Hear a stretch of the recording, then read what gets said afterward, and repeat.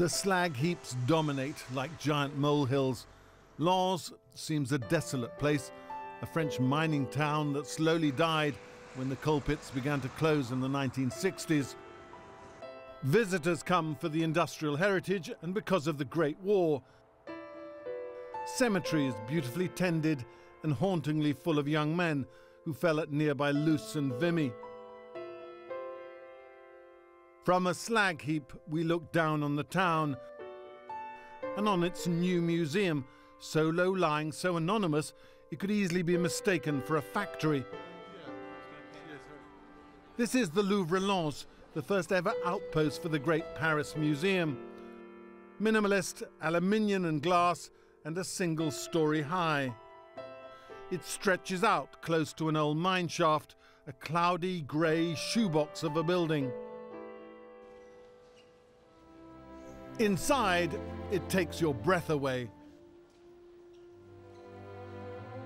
Every wall reflects, artworks and visitors alike.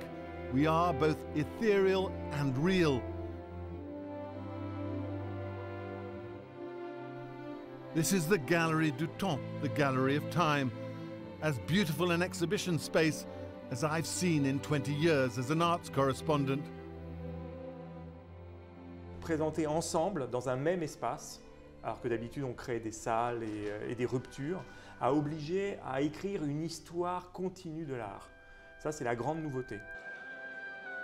6,000 years of art in a single room. At French government insistence, the Louvre was compelled to develop a regional satellite. In a way, it is kind of a ghost town because it was a boom town before. Louvre could have gone anywhere and be welcomed, but there was no place the Louvre was as needed as Lens. Both faces would have been painted? Oui, euh, donc la figure féminine, selon les conventions habituelles, est peinte en, en blanc et la figure masculine en, en rouge, c'est ce, qui est le, ce qui est habituel. Under conservation, an Etruscan clay masterpiece, two and a half thousand years old. Lens is preparing a special Etruscan show, and uniquely for the Louvre, the public can observe conservators at work. Déjà, quand euh, le, le président de la République a dit que euh, le Louvre se, se fera ici à Lens, bon, déjà j'étais content. Hein. Henri Wozniak, 80 next year, was a miner for a long and hard 35 years. He was just 15 when he first went underground. His biggest thrill in the new museum was seeing Delacroix's Liberty leading the people among the most revered of French revolutionary paintings. Je l'avais vu sur des timbres, euh, postes, des timbres. Alors, timbre poste petit comme ça, et là c'est